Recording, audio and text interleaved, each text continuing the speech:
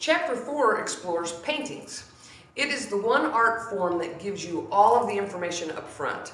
In a story, movie, or a piece of music, the content and the details are revealed within time.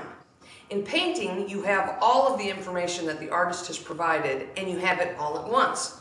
From that point, you are analyzing many facets of each work.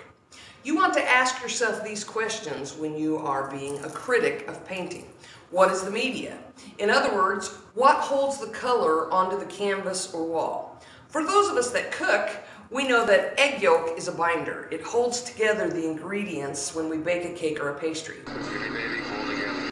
Old paintings used egg yolk to bind the pigment to canvas or wood, and it was called tempera. In a fresco, the color is mixed into the material of the wall. The best example of this is Michelangelo's Sistine Chapel. One of the most important and vivid types of media is oil painting. Also, we have watercolors. That's beautifully translucent colors, and it's a fast-drying medium that became very popular with Impressionists.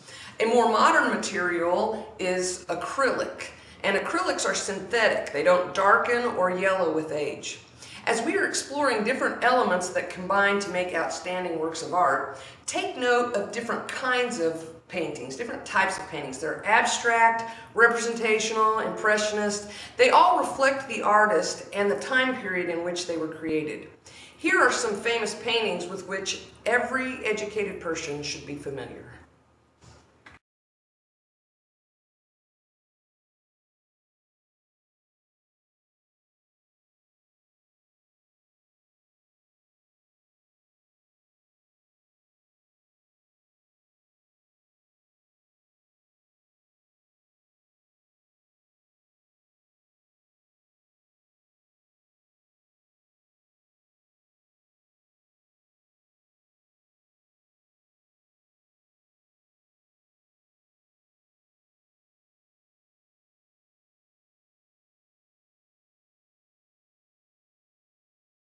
Boom, boom, boom, boom, boom.